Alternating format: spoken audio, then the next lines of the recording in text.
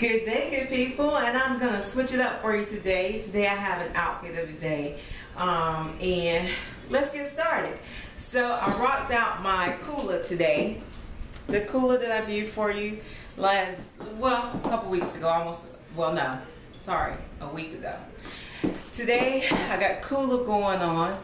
I just got on some plain black and red earrings, and so today I just decided to throw on my little black and white top nothing special, polka dots. And I wanted to just, I don't know, give it some flavor, give it some color. So I threw on my little uh, red bead necklace, have on my little bracelets, my rings, and then just threw on some regular old casual capris. But I also decided to, you know, put on my red shoes as well as I decided to make my face up with red. Now I haven't worn red lipstick in like forever.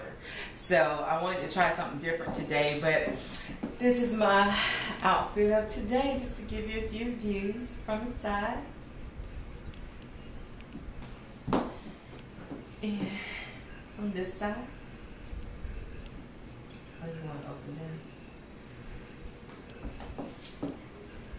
And just say thank you so much for joining me.